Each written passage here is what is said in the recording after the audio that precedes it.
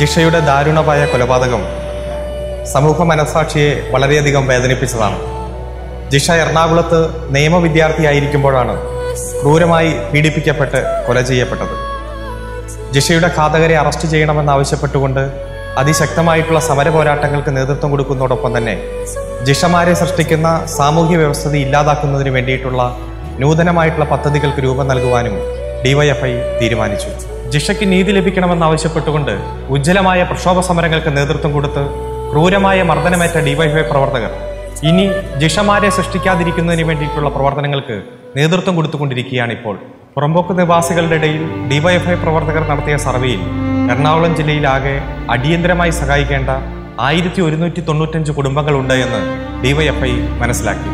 P W D പുറമ്പോക്ക് revenue പുറമ്പോക്ക് പെരിയാർവാലി പുറമ്പോക്കുകളിലെല്ലാം താമസിക്കുന്ന നൂറുകണക്കിന് വീടുകളിൽ ഡിവൈഫൈ പ്രവർത്തകർ കയറിയിറങ്ങി അവരുടെ വിവരങ്ങളെല്ലാം ശേഖരിച്ചു.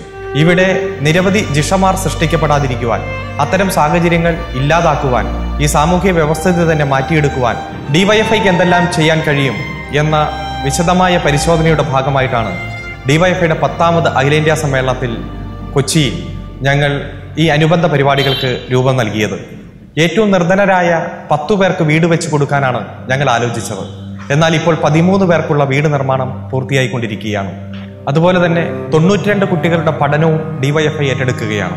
യു പി സ്കൂൾ മുതൽ ബിടെക്കിന് പഠിക്കുന്ന പ്രൊഫഷണൽ വിദ്യാഭ്യാസം ചെയ്യുന്ന കുട്ടികൾ വരെ അതിലുണ്ട്.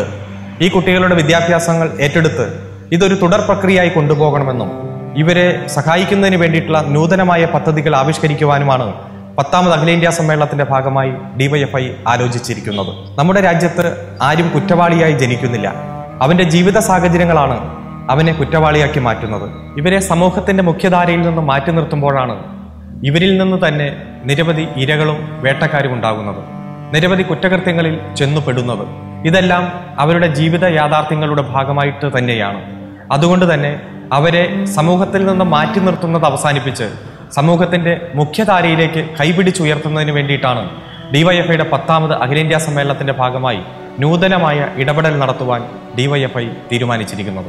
എല്ലാവർക്കും വിദ്യാഭ്യാസം എല്ലാവർക്കും തൊഴിൽ എന്നതാണ് ഡിവൈഎഫ്ഐയുടെ ലക്ഷ്യം.